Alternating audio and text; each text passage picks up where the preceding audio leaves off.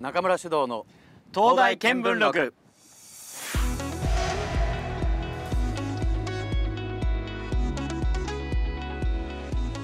前回東大の光が遠くまで届く理由を知った2人は続いて最南端に立つ東大からしか見られない絶景を望みます。おなんかうわもうちょっと夕日がかってきて、はいすごい。綺麗素晴らしいじゃないですかここ。もしかすると房総半島の南端ってここになるんですか、眺めがいいわけですよ指導さ指導さん東大の光そろそろつくんじゃないですか？ん点灯のタイミングってどうなるんですか？はい、あの今だんだん暗くなってきてますけども、暗くなったら熱く、で朝になったらですね、赤くなってきたら消える。あ自動なんです自動ですね。はい。あの庭の電気がついたり消えたりするあれと一緒だと思います。はいはいでも光るっていうことは今でも東大の役割は果たしてる、はい、十分役に立てると思います。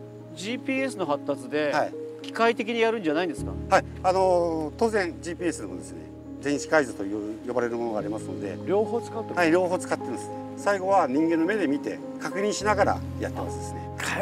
あどんなにそのデジタルがはい。進化しても、はい。ああいう昔にできたものっていうのはやっぱり未だに活躍してるとそうですね。頼もしい東大って、ね。と話しているうちにレンズが回り始めました。あついたついた。つい。たあー。ついた。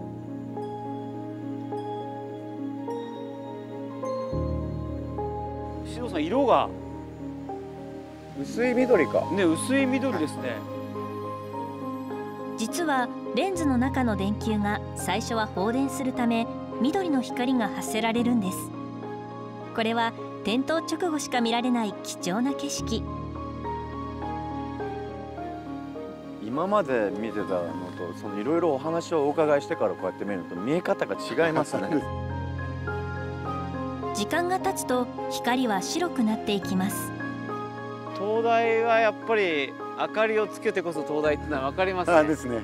昼間も綺麗だけどね、はい。ではこの光が野島崎灯台だとどのように見分けているのかわかりますか？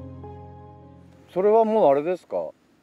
日本だ世界中の人がわかるんですか、はい、世界中の人が。世界中の人がわかる。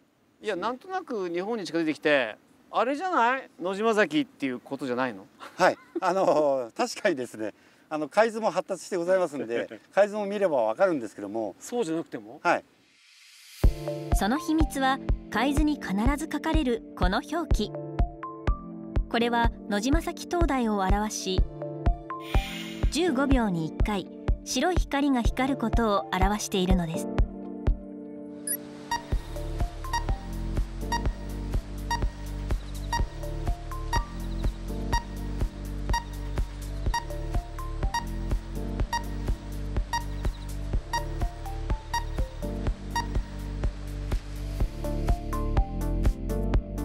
海の上から見分けられるように工夫されているんですね。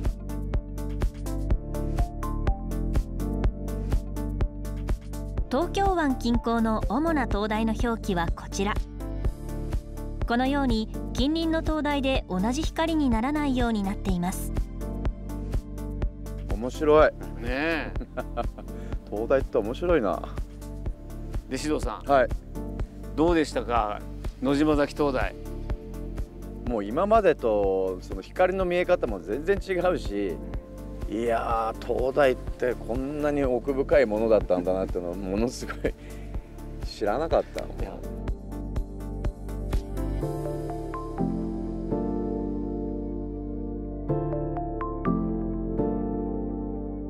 指導さん次の見聞のテーマお願いします。出ました。出た。東大くん。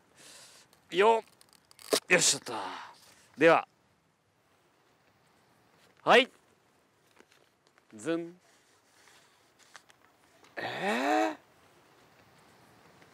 147年立ち続ける東大の秘密を探れ。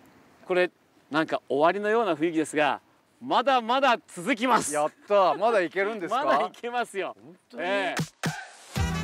次回訪れるのは建築以来ずっと立ち続ける灯台その歴史と役割に迫ります。